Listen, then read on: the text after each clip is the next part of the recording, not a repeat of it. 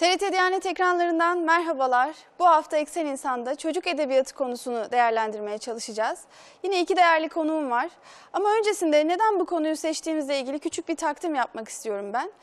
Malumunuz basın yayın dünyasında gençlere, annelere, e, yetişkinlere veya farklı düzeydeki insanlara hitap edebilen yayınlar mevcut. Ancak son 100 yıl içerisinde çocuklara, gençliğe, gençlere ve geleceğin yapı taşlarını oluşturan geleceğimizi oluşturacak olan yeni nesle ait çok farklı kitaplar üretilmekte. Bu kitaplara neden ihtiyaç duyuldu? Neden çocuk edebiyatı diye bir alan ortaya çıktı?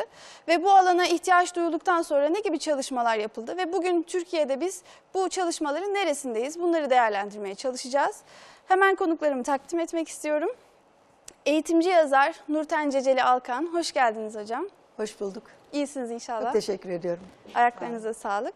Bir de İstanbul'dan bir konuğum var. Çocuk edebiyatçısı, yazar ve aynı zamanda yayıncı Zeynep Sevde Paksu. Hoş geldiniz. Hoş bulduk. Ayaklarınıza sağlık. Sağ olun. Şimdi e, her ikinizin de bu alanda kendine has çalışmalarınız var. E, tabii ses getirmiş çalışmalar bunlar aynı zamanda. Dilerseniz öncelikle çocuk edebiyatı nedir? Neden böyle bir alana ihtiyaç duyulmuştur? E, nasıl ortaya çıkmıştır? Biraz bunun tarihçesine değinelim. Daha sonra da özel konulara doğru giriş yapalım Zeynep Hanım. Tabii tarihçesinden bahsetmeye başlarsak eğer tabii biraz batıya bakmamız gerekiyor. Ee, yaklaşık 15. yüzyılda görüyoruz çocuk edebiyatı eserlerini ilk defa İngiltere'de. Bir yayıncı e, teşebbüs ediyor ve çocuk kitapları basmaya karar veriyor. Ve bastığı kitaplarda epey ilgi görüyor. Ondan önceki dönemlerde sözlü edebiyat var zaten. Ve sözlü edebiyatta da çocuk yetişkin diye bir ayrımdan söz edemiyoruz.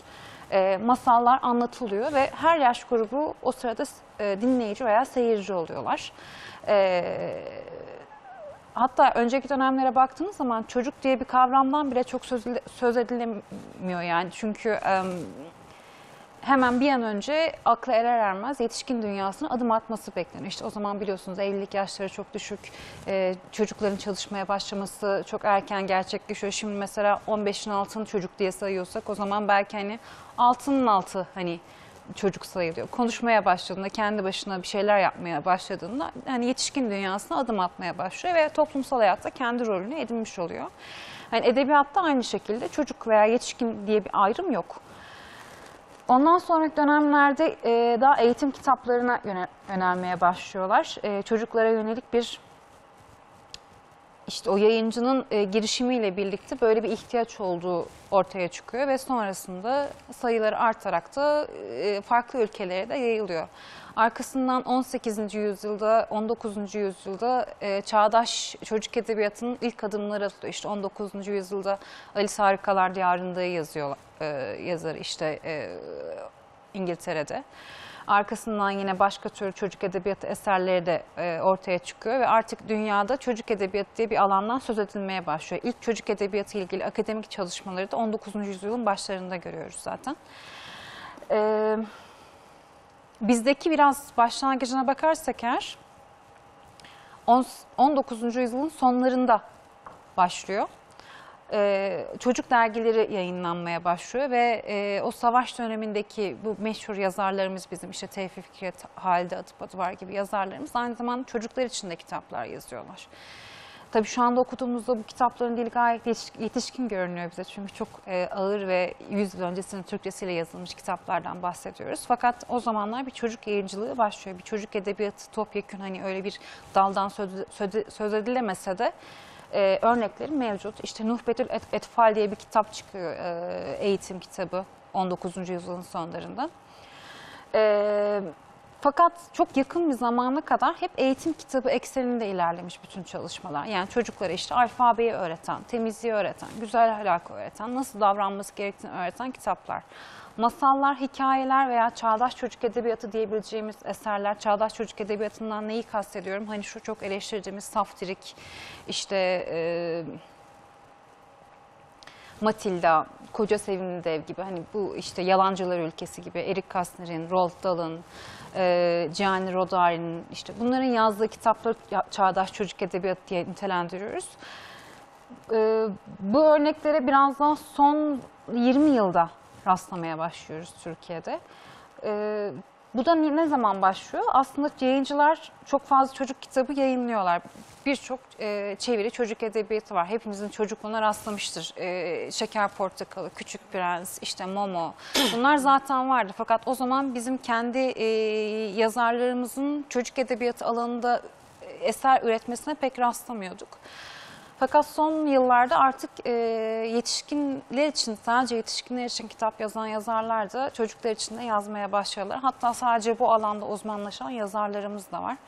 Şimdi mesela 10 yıl önceki Frankfurt Kitap Fuarı ile bu yılki Frankfurt Kitap Fuarı'nı kıyasladığınızda 10 yıl önce işte test kitapları götürürken e, yayıncılar çocuk kitabı namına şimdi hani dünya e, standartlarında dünya yayıncılarıyla kıyaslanabilecek ve onlarla yarışabilecek çocuk edebiyatı başlıklarımız var. Evet. E, elbette ki çocuklar az önce de söylediğimiz gibi geleceğin yapı taşı ise bizim için onlara yatırım yapmak aslında yetişkinlere yatırım yapmaktan daha önemli. Çünkü yetişkinlerin e, artık belli bir hayat performansı var. Önlerinde kendi seçimlerini yapabilecekleri bir güçleri var ama çocukların böyle bir şansı yok. Önlerine ne gelirse aslında böyle bir e, durum var. Ben kendi çocukluğumdan hatırlıyorum. Sadece birkaç devlet bankasının ayda bir defa çıkardığı karikatürlü böyle dergiler olurdu. Onların çıkmasını heyecanla beklerdik. Yani bize hitap edecek bir şey olduğunda veya öğretmenimizin işte derste bize okuduğu Ömer Seyfettin hikayeleri veya işte Türk Edebiyatı'nda isim yapmış usta yazarlarımızın ufak tefek hikayelerini bize uyarlayarak anlattıklarını hatırlıyorum. Bu anlamda çok büyük bir eksiklik vardı evet. Ee, ama bugün de o kadar fazla ki bunu nasıl ayırt edeceğiz acaba? Ya da çocuklarımıza bunları takdim ederken e, onların üzerinde nasıl bir seçim yapmamız gerekir hocam sizce? Ben e, önce bu süreçten yaşadığım mutluluğu paylaşmak istiyorum. Çünkü hem anne olarak hem e, eğitimci olarak e, bu güzelliği an be an e, görenlerdenim. İlk çocuğuma 5 yaş civarındaydı. E, yani büyük bir çabayla böyle ne bulsam ne okusam ve bizim olan ne bulsam ne okutsam manevi değerleri veren dini kimliğin oluşmasını sağlayacak. Hiç unutmuyorum bir peygamber kıssası, e, Hazreti İbrahim kıssasını anlatan Yaşar Kandemir Hoca'nın kitabını okumuştum. Bugünkü Nurten okumaz e, bunu ve elhamdülillah bugün alternatifler çok fazla. E, Hazreti İbrahim'in ateşe atılma anını anlatan sayfayı okuduğumda Hilal bana sormuştu hemen hemen 4 yaş, 4,5 yaş civarında niye yanmadı diye. Ben demiştim ki Allah onu çok sevdiği için korudu. Üzerinden birkaç saat geçti ve ben akşam yemek yapıyorum. Bir çığlık parmağını tencerenin altına dayamış ve kendi sevilip sevilmediğini Test test, etmiş. Yani e, ve o günden sonraki süreçte mesela çocuklarıma hiç peygamber kıssası okumamaya çaba gösterdim. Çünkü Kur'an yetişkin kitabı ve Kur'an yetişkinler için gelmişken onun çocuk diline çeviriyor olmak çocuk kitabı yapmıyor. Evet. Bu, bu farkı yakalamak gerekiyor ve bugün bu farkı yakalayarak yazan yazarlarımızın olması ben çok mutluyum. Sevda Hanım'la beraber olduğum için burada. Ee, çok önemli. Ben e, yetişkinlerin mutlaka e, bir süzgeçten geçirerek okumaları gerektiğini düşünüyorum. Yani önce kendilerinin okuması. Kesinlikle. Mesela kendim e, kendim mutlaka yani şu an kızlarımda da bunu görüyorum. Torunlarıma okuyacakları kitabı mutlaka önce kendileri e, okuyorlar. Okul öncesinde bir avantaj var. Siz değiştirebiliyorsunuz. Üzerinde küçük oynamalar yapıyorsunuz. Ama annenin yaptığı oynamayı baba yapmazsa bu sefer çocuk diyor ki yanlış okudun. Orada bir şeyler farklı gitti. Okulda da edebiyat, Türkçe ve edebiyat zümremin elinden geçmeyen hiçbir kitabın çocukların eline verilmesini istemiyorum. Çünkü bazen satır aralarında çok e, yıkıcı, yıpratıcı ifadeler e, olabiliyor. Ya da çocuğun e, sorusunun cevabını bulamadığı ve negatif soru yüklendiği yerler olabiliyor. O yüzden e, çeşit çok fazla. Ebeveynlerin biraz zaman ayırması gerekiyor ve e, önce okuyup üzerinde biraz düşünüp ondan sonra evlatlarının eline teslim etmeleri gerekiyor diye düşünüyorum. Evet. Sizin de söylediğiniz gibi aslında bu anlattığınız hikaye çocukların hayal dünyasının, zihin dünyasındaki o e, yaşattıkları şeylerin bizden çok farklı olduğunu Çok. görüyoruz. Ama şunu unutuyoruz. Biz de bir gün öyle düşünüyorduk. Ve o, o gün öyle düşündüğümüzü unutarak bugün aslında belki kafamızdaki farklı yoğunluklar, farklı telaşlar veya tek tip düşünme e, yolunda böyle artık kendimizi yeterince hayal dünyamızı genişletemediğimiz için belki de tek tip düşünmeye başlıyoruz ama onların hayal dünyası, o hayal alemi çok farklı. Ee, okul kitaplarına değineceğim ama ondan önce Zeynep Hanım siz gerek yayın evinizde e, işte kendilerine kefil olduğunuz kitapları seçerken gerekse kendi yazdığınız kitaplarda bu dili mesela az önce hocamın anlattığı gibi bir e, boşluğa düşmemesi için çocukların nasıl değerlendiriyorsunuz ya da ne gibi noktalara dikkat Çocukların ediyorsunuz? beğeneceği dili tutturmak anlamında söylüyorsunuz değil mi? Hem o hem de onların hayal dünyasında yanlış bir çağrışım yapmamak adına.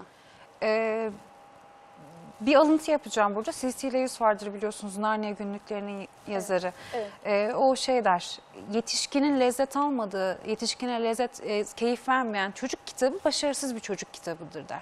Yani o yüzden hani çocuk edebiyatının üst yaş sınırı yoktur, alt yaş sınırı vardır. Misal süper defterler 7 artı yaş grubudur fakat bu artının bir sınırı yok. Yani bunu siz de okuduğunuzda zevk alıyorsanız eğer o başarılı bir çocuk kitabıdır. Daha doğrusu çocuk edebiyatıdır. Bunun dışında kalanları eğitim kitabı olarak nitelendirmek daha doğru. Ee, işte bir kitapçıya gidin orada sizin ilginizi çekecek çocuk edebiyatı eserleri de vardır. İlginizi çekmeyecek çocuk edebiyatı eserleri de vardır.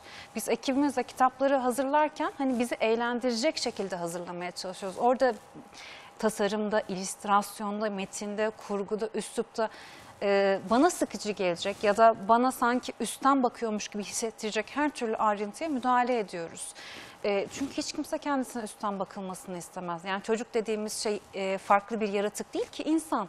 Yani hepimiz o çağdaydık ve biz de o zamanlar bize bir şeyin dikte edilmesinden hoşlanmıyorduk. Bir şeyin kafamıza kakılmasından hoşlanmıyorduk.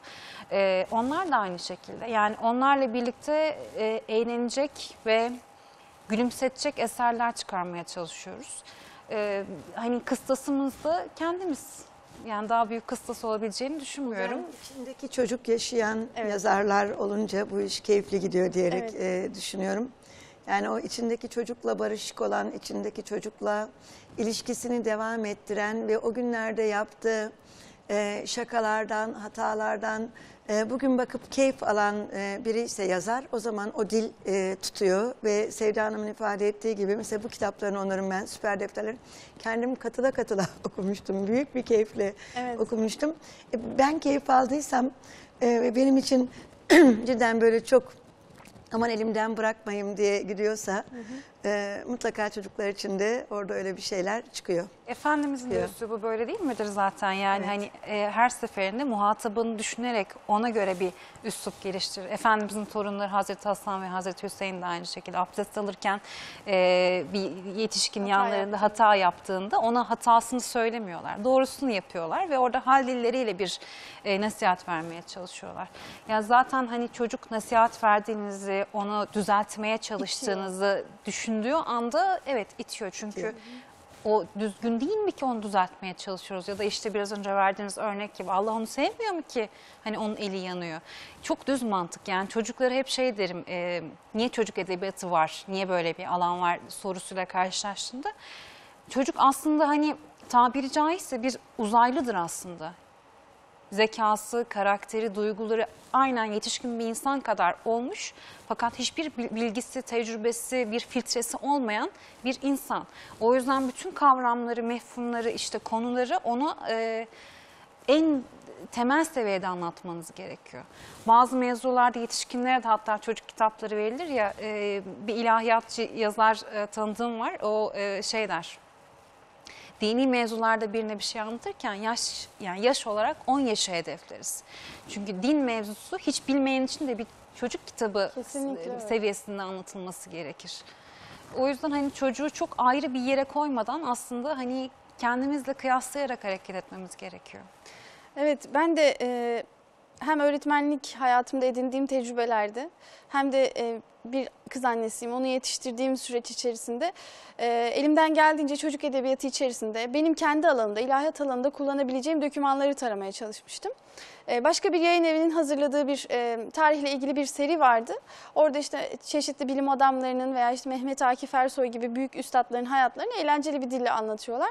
Ben önce sadece sınıfta çocuklara okurum diye aldığımı hatırlıyorum. Sonra böyle işte ders mesela son 10 dakikada farklı bir etkinlik olarak, farklı bir kazanım olarak sunmak için. Sonra önce onları 10 dakika okuyup geri kalanlarını İlginizi teneffüste evet. Evet kendim kendim okuyarak böyle vakit geçirdim. Çünkü biz gerçekten bu noktada çok aç bırakıldık. Hani şimdiki nesil o kadar şanslı ki ben bir de şunu yapmıştım. Mesela e, yeni doğan bir çocuğun neden kitaba ihtiyacı olsun ki şimdi biraz sonra siz de göstereceksiniz ama ben kendimce bulduğum metodu göstereyim, e, anlatmaya çalışayım. E, bizim evimizin kitaplığı bir odada bir de kızımın odasında bir ayrı e, kütüphane oluşturdum ona. Alt rafları da tamamen onun kitaplarını koydum. İlk emeklemeye başladığı anda sürekli onları dökerek oynuyordu. Tabii dökünce resimlerine bakıyor, arada bazen yırtıyor ve onun yırtmasına da engel olmadım. Yani çünkü onun o andaki onunla iletişimi bu. Zaten e, işte 9 aylık, 15 aylık bir çocuğu oturtup da ona uzun uzun kitap okuyamazsınız. Ancak ona renkleriyle, işte e, o cazibesiyle o kitapları sevdirebilirsiniz. Ve bu anlamda da gerçekten çok faydasını gördüm. Şimdi artık kitaplar ona yabancı bir şey değil ya da ulaşılmaz değil ya da onları eline aldığında hatırlıyor bazı yerlerini. O açıp bana anlatmaya başlıyor. Ezberliyorlar bir de kısa sürede. Çok kısa hikayeler olunca. Çünkü zihin boş. Evet çok bir de almaya çok açıklar. evet evet. Ama işte şey çok önemli. Ee, gerçekten o boşlukları çok çabuk yakalıyorlar. Bizim Evet. göz ardı ettiğimiz noktaları. Anne baba olmak çok büyük imtihan Evet. zaten. Yani mükemmel olmak zorundasınız. Çünkü hal dilinize devamlı aslında onu eğitiyorsunuz. İsterseniz hocam e, sizin el- elinizle el emeği, göz nuru hazırladığınız kitaplara burada yeri gelmişken bir değinelim. Hani hem o hem de diğeri e, şu diktikleriniz kuşlu olan, uçacak olanlar. Şimdi Önce bunları yapalım. Tamam yeni doğmuş bir çocuğa ya da üç, yani henüz okuma bilmeyen bir çocuğa kitap nasıl sevdirilir mesela? Siz nasıl bir yöntem uyguladınız? Nasıl, nasıl sevdirilir? Ee, kendi çocuklarımı yetiştirirken de şu an e, kızlarımın annelik yolculuğunda ve velilerime e, yaptığım nasihatlarda da sizin yöntemi çok kullanıyorum ben. Çok küçüklüğünden itibaren anne çocuk, baba çocuk ve kitap üçlüsü bir arada, o dörtlü bir arada olmalı. Çünkü yakın plan ilişkiyi genellikle ebeveynler giydirirken, yedirirken e, yapıyorlar. O hep çocuğun bedenine bir saldırı aslında. Yemeye çalışmak, giydirmeye de çalışmak. Ama kitap bambaşka bir dünya. Kitapta beraber bir yolculuk e, yapıyorsunuz. Ee, okumaktan çok anlatmayı seviyorum ben onlara. Çünkü anlatırken kendi öykümüzün üzerinden gidiyoruz. Kendi, yani elimizde birinin yazdığı bir kitap üzerinden biraz yazara haksızlık oluyor ama e, ancak son beş yıldır yaptığım e, bir şey var. E, ikinci torunum doğduğunda başladık buna. Birinciyle bir hayvanat bahçesi gezisi yapmıştık. Hayvanat bahçesinde gezerken, fotoğrafları çekerken böyle yavaş yavaş benimde bir aydınlanma yaşamıştım. Yani ben bunu herhangi bir fotoğraf dizini halinden başka bir yere getirebilir miyim acaba diyerek. Ve o gün bugün e, torunlarla ya da ailenin büyük aileyle yaptığımız her gezinin arkasından çektiğim fotoğrafları e, çok basit PowerPoint ortamına aktarıyorum ve e, arkasından e, başlıyorum. Bir varmış, bir yokmuş. İşte evvel zaman içinde, kalbur zaman içinde Nurten anneannenin bir torunu varmış. O torunlarla şöyle yapmış e, diye. Şöyle bir artısı oluyor. Bilmiyorum böyle gözüküyor mu ya da şöyle mi yapayım? Ha, öyle döndürelim hocam. Ee, şu an dijital e, fotoğraf makinelerine çektiğimiz fotoğrafların büyük bir kısmını ne yazık ki basmıyoruz. Yani artık evlerde albümler yok.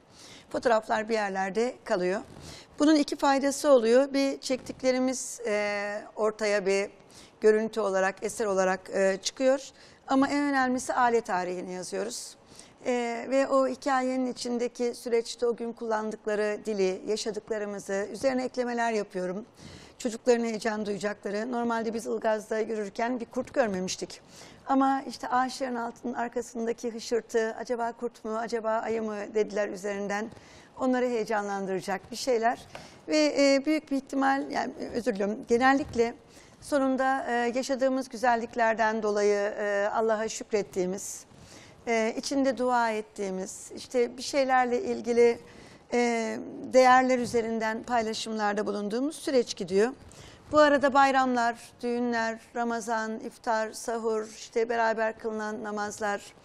E, bir kızımın düğününde, son üç numaralı kızımın düğününde yazdığım kitap aslında Kültür Bakanlığı'na bir etnografik eser oldu. Çünkü gelin hamamından tutun da dürüye, dünüre, damada, gelinle işte e, dini nikaha e, ettiğimiz dualara kadar onun içindeki her şeyi ben Selim'e anlattım. Onun o çocuk dilinde, onun sorduğu soruların cevabı olaraktı. E, bunu çok e, önemsiyorum. Çocuklar çok mutlular. Çünkü kahramanlarının kendi olduğu bir kitap. Bizim olan kitabı okuyalım anneanne. E, benim şunu yaptığım kitabı okuyalım e, anneanne. Bu bizim özelimiz. Yani bir onlarda fotokopisi var, bir bende fotokopisi var. Bir tane de ne olur ne olmaz diyerek hani arşivlemek Üçüncü üzere nüsha, yapıyorum. Evet, e, bunu seviyorum.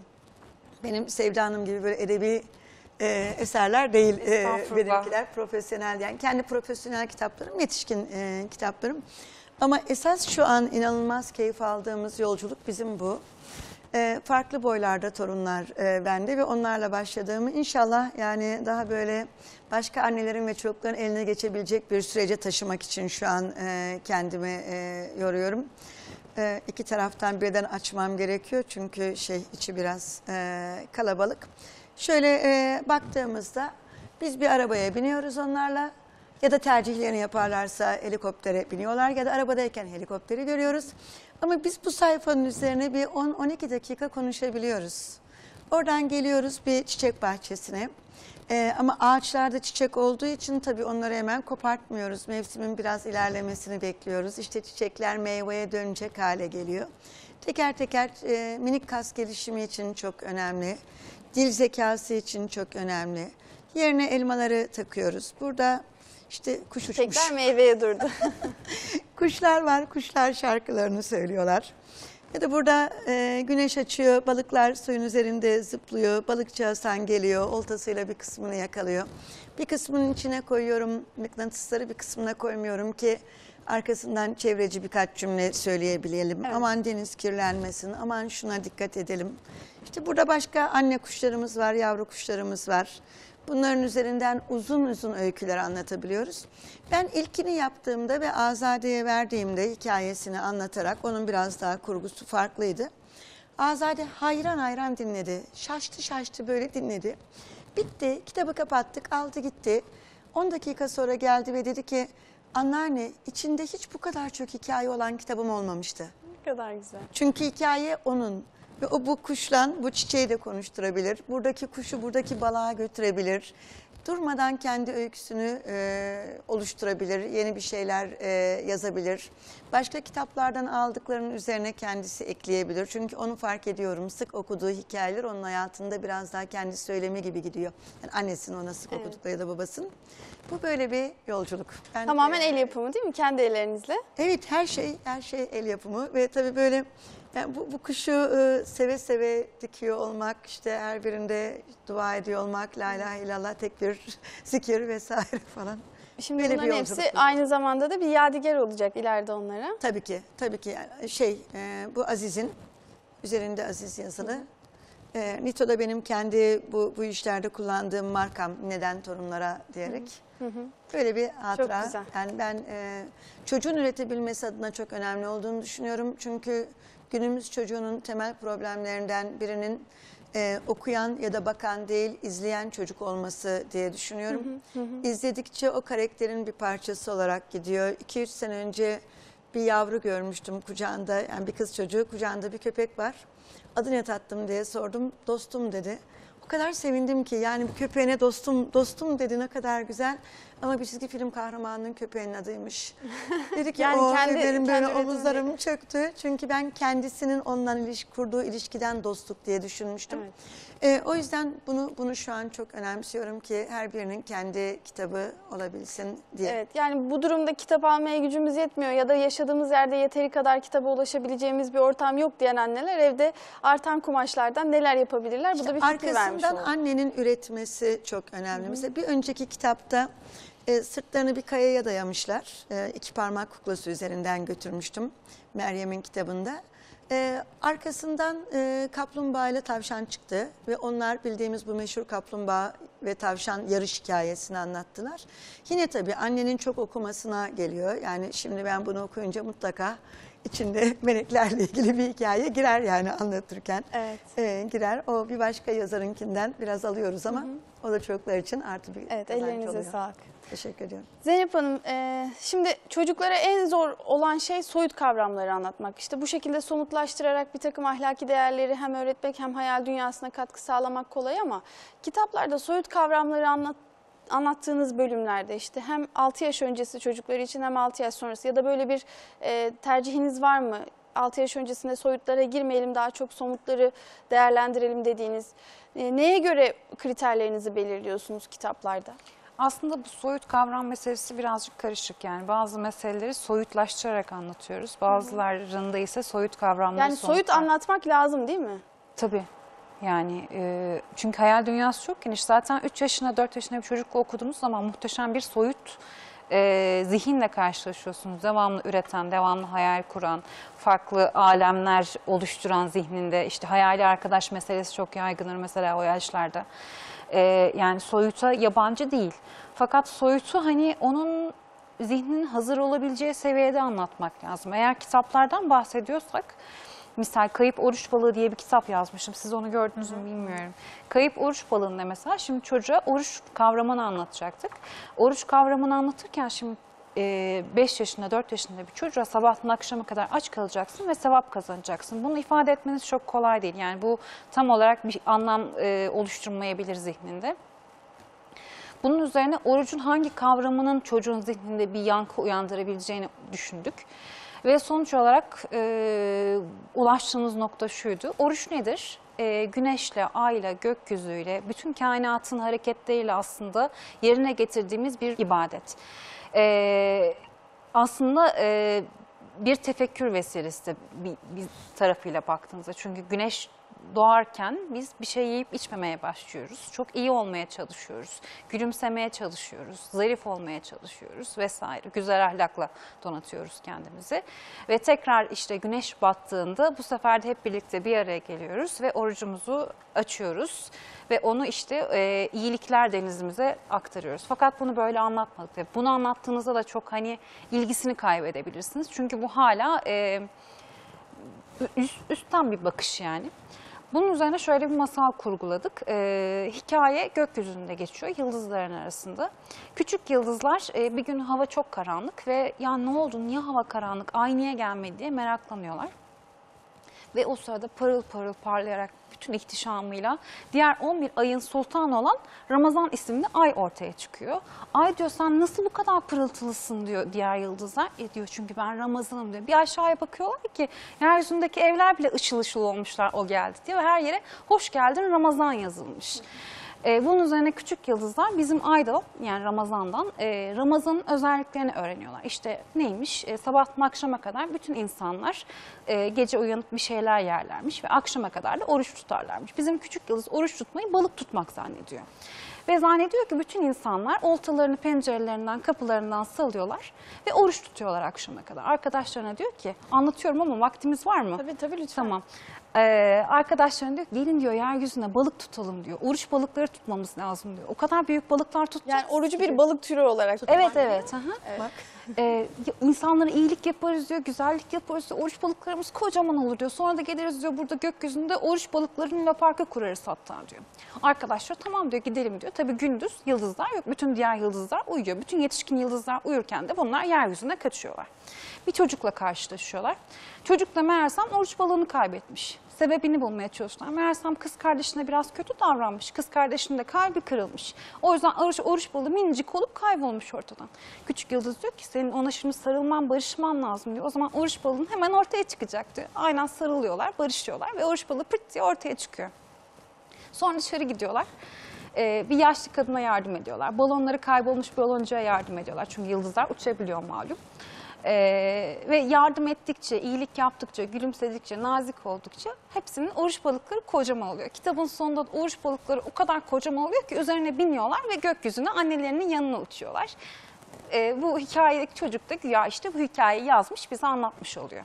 Şimdi orucu bu şekilde anlattığınız zaman orucun tam olarak o derinindeki mefhumu aslında zerk etmiş oluyorsunuz çocuğun zihnine. Bilinçaltına bunu Evet aynen öyle. aslında. Çocuk edebiyatı bu aslında. Subliminal mesajlarla bir e, hikayeyi lezzetle anlatabilmek. O zaman subliminal mesajların hepsi kötü değil. E, şimdi bu yerine göre değişiyor. Batı'daki tabii ki değil subliminal mesaj. e, yani Şimdi edebiyat deyince- dediğimiz şey zaten bir derdi incelikle ve onu saklayarak anlatabilme sanatı. E, şimdi dünyanın birçok yerinde komünizm propagandası yapan, işte ateizm propagandası yapan ve bir sürü farklı izimler propagandaları yapan çocuk edebiyatları var ve hükümetler çoğu zaman zaten e, neslin e, nasıl yönlendireceklerine karar verip çocuk edebiyatına o şekilde yön veriyorlar ve yazarları, çizerleri ya da yayıncıları bu şekilde destekleyerek de aslında o yönü belirlemiş oluyorlar. Bir siyasi bir şey aslında diğer yanıyla da. Evet.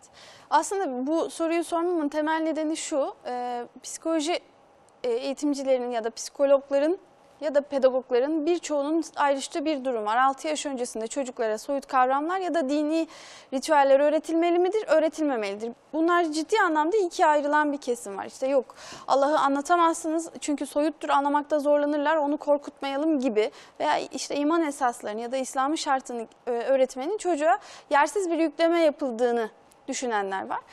Şimdi bunun üzerine düşündüğümde ben e, hani gerçekten böyle midir, zararı olur mu ya da çocuğu yanıltır mı diye düşündüğümde şöyle bir soruya e, tekrar takılıyorum. Yani bir sürü çizgi film kahramanı var. İşte hepimizin sürecinde bir şekilde ya çocukluğunda veya kendi çocuklarını yetiştirirken karşılaştıkları işte Spider-Man dediğimiz örümcek adamlar. Bunlar gerçek kahramanlar mı? Bunlar da soyut birer kahraman. Ve bunları çocuklara pazarlıyoruz. Üstelik de gerçekle örtüşmeyen bir dönem bir çizgi film vardı ve onun ardından kendilerini uçacağını zanneden çocukların balkondan atlaması gibi bir sendrom ortaya çıkmıştı örneğin.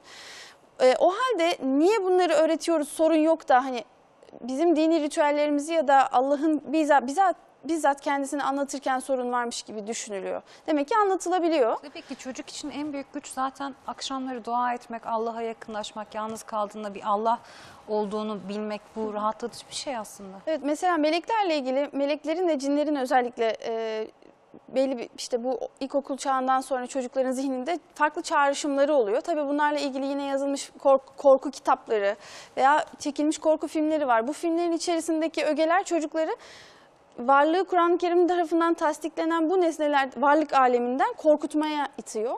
Ve e, biz bu konular üzerine konuşurken onların zihninde çok farklı şeyler görüyoruz. İşte cinlerin onları çarpabileceğinden tutun da e, onlara bir- birçok zarar verebileceğiyle ilgili.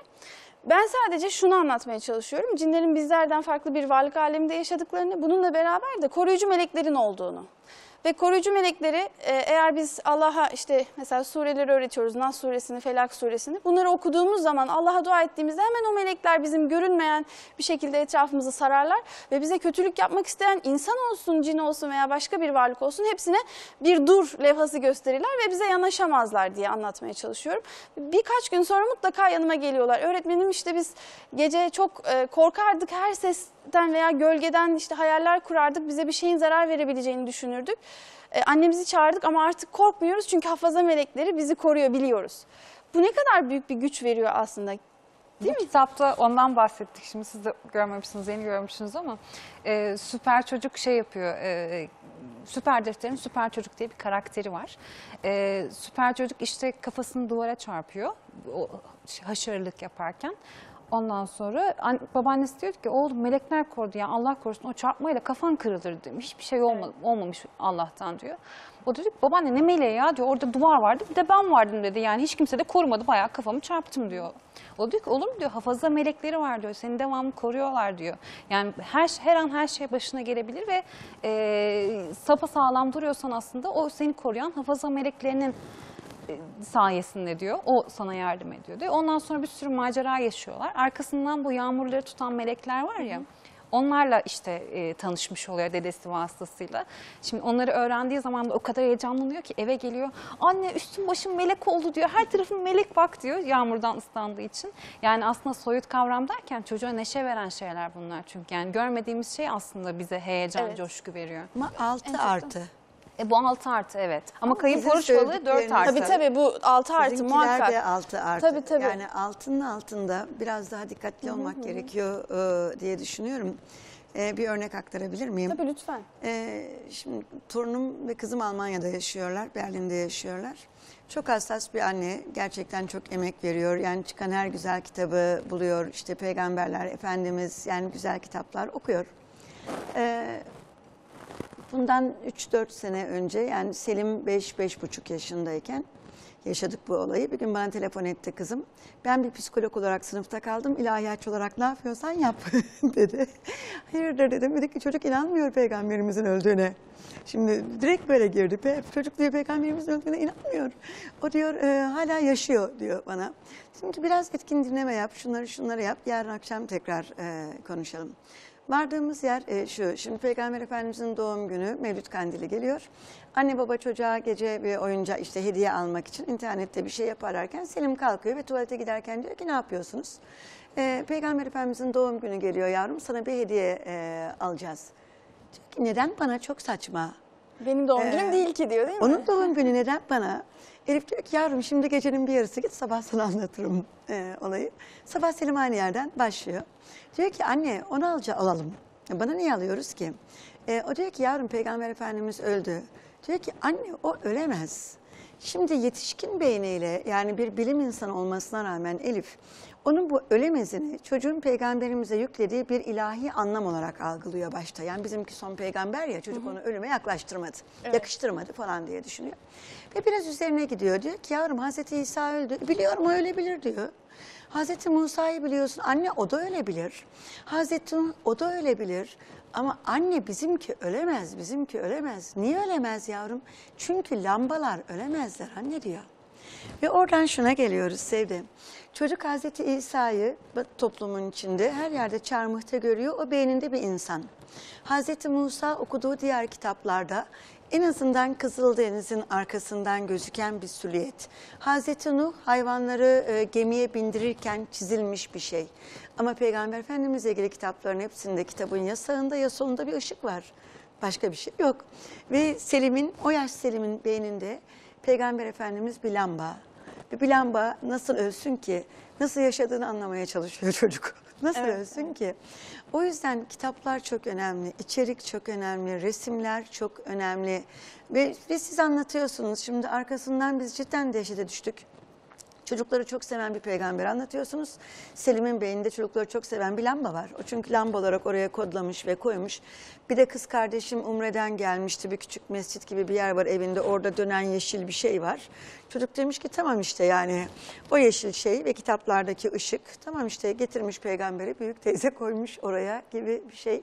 Somutlaştırıyor. Ben evet evet yani bu somut soyut e, meselesinde küçük yaş e, grubunun devamlı geri dönüyor olması gerektiğini düşünüyorum. Onun beynindeki ne, o ne anladı, bizim okuduğumuzdan ne geldi ve e, tabii evlerdeki ortamın çok çocuğun kendini ifade edebileceği ortam olması çok önemli. Çünkü onun orada yaptığı ifade bizim akaid anlayışımızın çok dışına bir yere geldiği zaman verilecek tepki orada ket vuruyor, bitiriyor evlatların hayal gücünü ve inanç dünyasındaki yerlerini. Ee, ama bunlar bunlar çok güzel. Evet. Çok güzel. Şimdi ben son olarak e, konuşmanın akışını başka bir yere çevirmeden önce bir soru daha sormak istiyorum. Bu soyutlukla ilgili. Mesela kitaplarda ölümü anlatmak gerekirse ki ölüm de hayatın bir gerçeğiyse mutlaka anlatılmalı. E, bunu nasıl anlat, anlatmak gerekir veya anlattığınız herhangi bir kitap var mı çocuklara? Ben ölümü hiç anlatmadım şimdiye kadar fakat anlatılmış kitapları biliyorum yurt dışına çıkan. Ee, genelde bunu yolculuk gibi tasvir ediyorlar. Yani hani belli bir yerden belli bir yere gidiyoruz. Aslında dindeki tasvirin birebir aynısından Evet. bahsetmek söz konusu. Ve o, o şekilde anlatıldığı zaman çocuğun zihninde hani e, olması gerektiği gibi olduğu gibi canlandığını söylüyorum. Fakat bunun yaş grupları dediğim gibi tartışmalı. Tabii. Nurten Hanım'ın da bahsettiği gibi. Yani benim şimdiye kadar okuduğum kitaplar, e, gördüklerim hep 6 artının üzerine hitap ediyordu.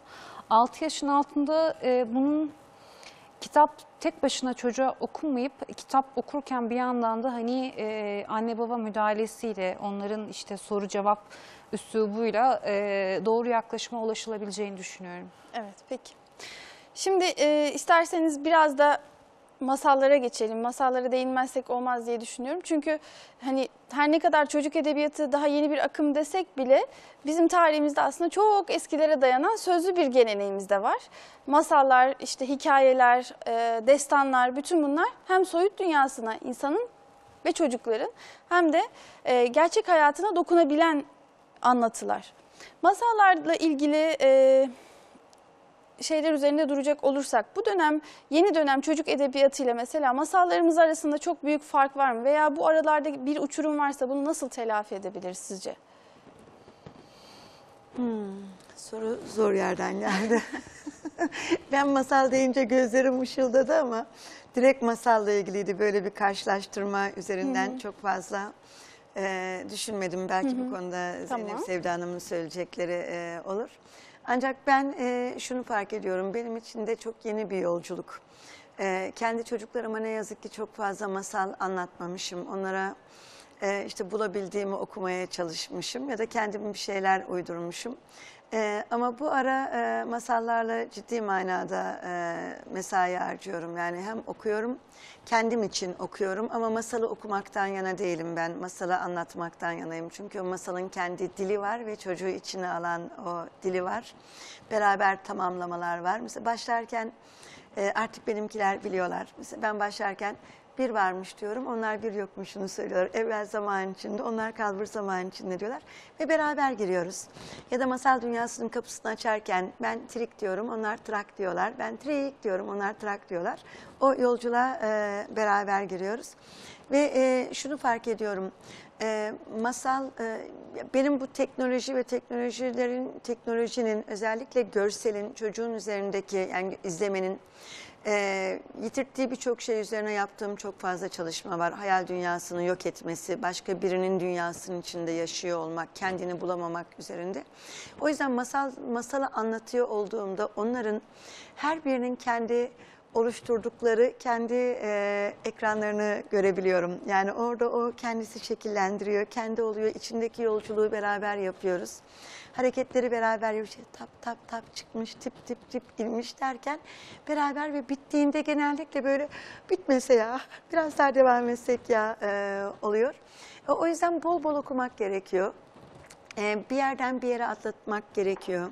Çocuğun o günkü bir ihtiyacının e, üzerinden kurguyu, e, işte fasulye, e, sihirli fasulye var ya Jack. İşte onu çok başka bir yere çekebiliyorsunuz. Yani o, o gün sizin kendi hikayeniz oluyor. Yarın başka bir hikayeye dönebiliyorsunuz. Bu sezon başlarken, eğitim sezonu başlarken dinlemiştim ben bir masal. E, Judith Lieberman diye bir Fransız hanım var, Türkçe masallar anlatıyor. Onun bir söyleşisinde dinlemiştim. Denersen yaparsın ya diyerek e, bir masal. Okuldaki öğrencilerle ilk oryantasyon haftasında her her sınıfla bu masalı e, paylaştık şimdi. Vakit dardır anlatmak herhalde uygun olmaz.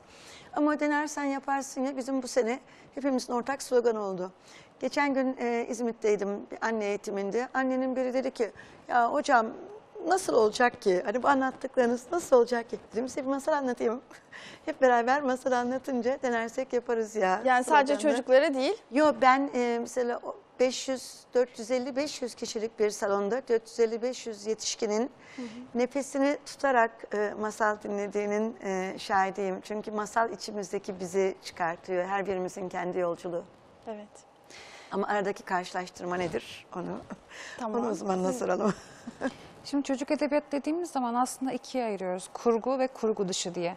Kurgu dışı derken işte mesela Gezgin Eşeğin Oyun Atlası, Filozofun Bilim Günlüğü diye. Yani belli bir konuyu eğlenceli bir üslupla çocuğa anlatan e, kitaplardan bahsediyoruz. Bunlar kurgu dışı yani e, bilgi aktaran kitaplar. Burada çocuk edebiyatı başına dahil olması için ne yapıyoruz? Üslubunu değiştiriyoruz ve orada daha neşeli, eğlenceli, gülümseten bir üslup kullanıyoruz.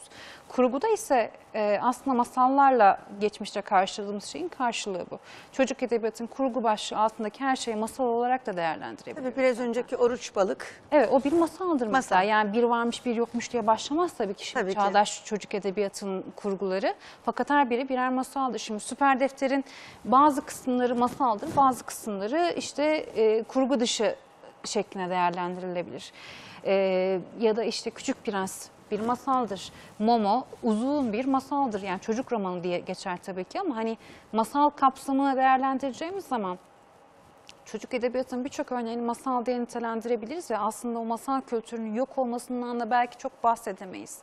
Yani ne olabilir? Geçmişte nasıl işte Grimm masalları, işte Andersen masal, La Fontaine, Batı'nın çocuk edebiyatını etkilediyse ve onlar o ışıkta o üretime devam ettilerse bizlere Nasrettin Hocalar, Keloğlanlar, işte e, Dede Korkutlar vesaire yine bizim yazınımıza tabii ki etki ediyor. Yani bunu somut bir şekilde her zaman göstermek mümkün olmaz ama tasvirlerimizde, işte e, sembol anlatımlarımız, sembol seçimlerimizde bir şekilde etkileniyoruz. Misal işte biz e, orangutan seçmiyoruz da bir eşek karakteri seçiyoruz misal yani. Niçin? Çünkü hele olan Nasrettin Hoca masallarında, fıkralarında e, en çok gördüğümüz karakter eşektir. Ya da işte hüt hüt kuşunu tercih ediyoruz mesela.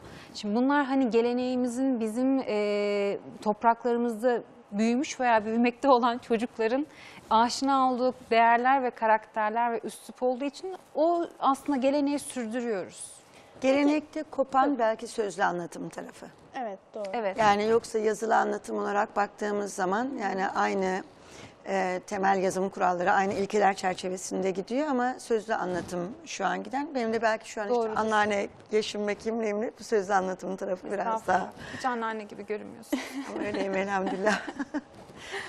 Peki ben bir de şeyi sormak istiyorum size. Madem böyle biraz hem batı masallarına da değindik. Bir de güncel anlamdaki batı masalları hem sinemaya dönüştürülmüş örnekleri de var bunların. Örneğin Harry Potter ve Alacakaranlık gibi hem efsanevi mitolojik yönleri ağır basan hem kitapları yok satan hem e, sinema gişelerinde rekorlar kıran eserler var.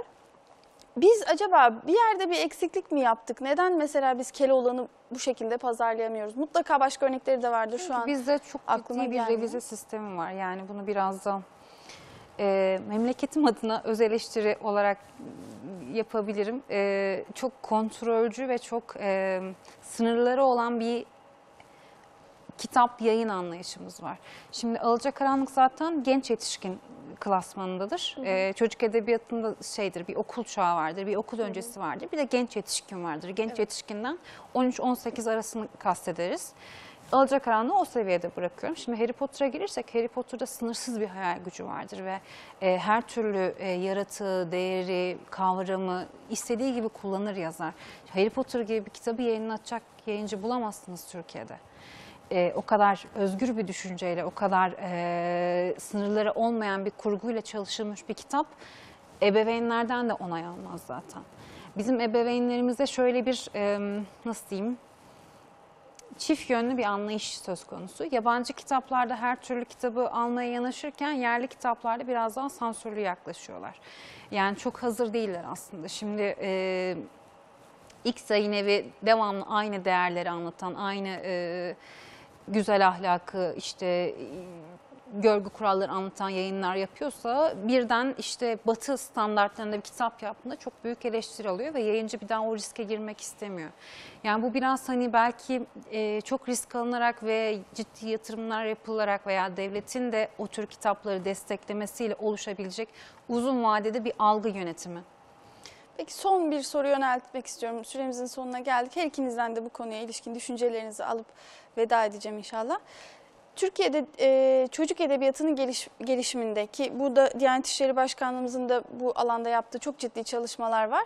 E, yeni akım diyelim biz bunlara. Gerçekten çok güzel serüveni olan sizin hazırladığınız örneklerde olduğu gibi veya kişisel örneklerinde olduğu gibi gerçekten bu anlamda çok ciddi katkılar var ama çocuk edebiyatının gelişiminde din, ideoloji, mitoloji gibi faktörlerin ne gibi katkıları ya da etkileri var sizce?